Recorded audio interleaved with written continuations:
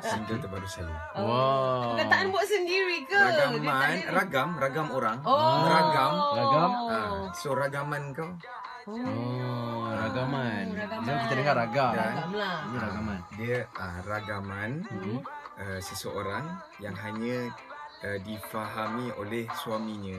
Wah. Sebab tu dalam lirik lagu tu ada ragamanmu hanya aku yang tahu. Wow. Oh, so sweet. Ah, dan at the same time Ha? lagu uh, ni dia uh, genre reggae.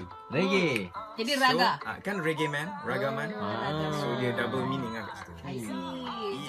Kau soalan aku curi. Dekat Instagram aku dah tanya dulu. Okey, baik. Eh, tak apalah share, share. Okey, share. Okey. Halalkan kat dia. Kenapa kau certai? Halalkan sekarang. Halal. Okay, Ah. alright. Terima kasih Pak Tahir. Saya beli. Kenapa delete? Ha. Uh, it's post. just that um, saya archive, bukan delete. Kan memang Instagram ada archive post. Betul. Hmm. Dan saya memang seorang yang selalu menggunakan function archive tu sebab kadang-kadang ada post yang kita rasa dah tak relevan, tak perlu orang tengok pun tak perlu orang tengok, so saya archive.